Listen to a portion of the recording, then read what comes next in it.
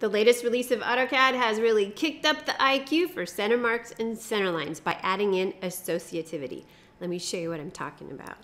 So I want to create a center line between these two objects right here. All right, so I'm going to go to the Annotate tab on the ribbon. I'm going to go to Center Line, and very simply, I'm going to go ahead and select the two objects that I was talking about, right? Okay, that was easy enough.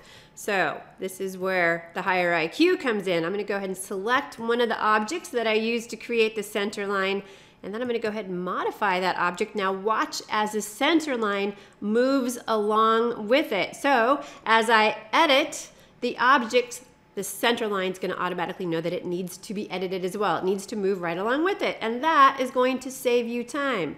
I love that higher IQ. I also love how easy it is to edit the grips on these new, smarter, more intelligent center lines. How easy is that, right? Okay, that was so much fun. I'm kind of feeling the need to do another center line because it was so easy. Let's do one more center line. Go and select these two objects right here. Very easy. And then I'm going to use those great grips just to pull that out. All right. Very easy. What about center marks? I mentioned to you that center marks are also smarter. All right, let's do a center mark. I'll go ahead and grab the outermost circle here. And look, how easy was that? A center mark. Um, I would like to point out the center mark repeats. Center line does not. Um, in order to get out, I'm going to do an escape.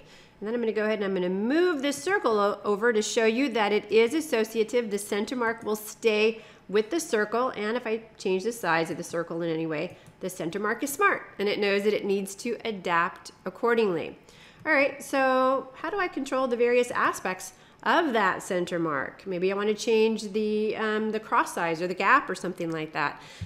Easy enough, go ahead and select the center mark or the center line, whichever the case is, and then go over to properties and you will see that you have a lot of options in here so you can make modifications accordingly, cross size, cross gap, etc. Or if you like to type or if you want to put it into a script file, if you type in center, you will find all kinds of options for all different aspects of your center marks and center lines, all right?